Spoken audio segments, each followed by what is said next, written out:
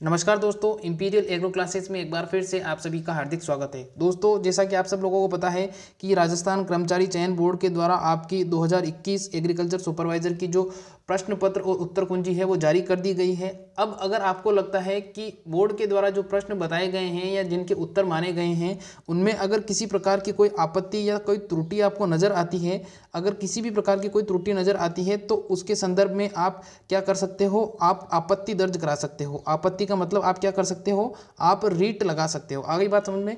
अब देखिए रीट लगाने का जो दिनांक है, वो दिनांक भी बता देता हूँ। दिनांक क्या है? प्रोसीजर क्या रहेगा? पूरा देखिएगा वीडियो को आपके लिए बहुत ही ज़्यादा हेल्पफुल होने वाला है कि रीट किस प्रकार से लगाई जाती है। देखिए, सबसे पहले आपको क्या करना है?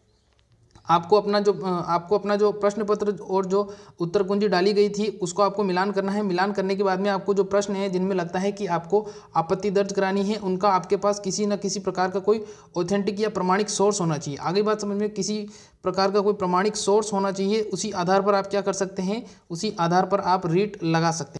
अब देखिए, रेट लगाने की जो तारीख है, वो तारीख क्या है? सत्ताईस नौ, यानी सत्ताईस सितंबर से आपके रात के एक बजे से पोर्टल चालू हो जाएगा या लिंक चालू हो जाएगा और उनतीस तारीख तक आप क्या कर सकते हैं? उनतीस सितंबर तक आप प्रश्न पत्र पर क्या लगा सकते हैं? प्रश्न पत्र या उत्तर कुंजी पर रीट लगा सकते हैं।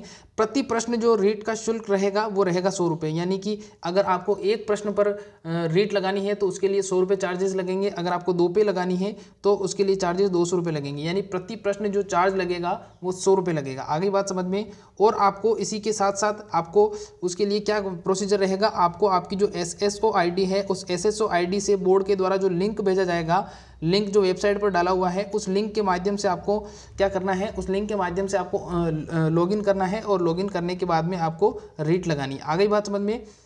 तो ये प्रोसीजर था। प्रति प्रश्न सौ रुपये लगेंगे, आपके ध्यान रखना और एस एस से आपको क्या करना पड़ेगा? रेट लगानी पड़ेगी। तो अगर आपको तो उम्मीद करता हूँ आपको समझ में आ गया होगा रेट किस प्रकार से लगानी है और डेट क्या है, ठीक है? ये वीडियो अगर अच्छी लगी हो तो प्लीज़ वीडियो को लाइक ज़रूर करिएगा और चैनल को ज़रूर से सब्सक्राइब करिएगा। और अगर अभी तक आपने आंसर की नहीं मिलाई है तो बिल्कुल मैंने वीडियो बना दिया गया है, बना दिया है। चैनल के प्ले लिस्ट में जाकर उसको देख लीजिए और अपने जो प्रश्न पत्र है उसको और आंसर को मिलान कर लीजिए। Thank you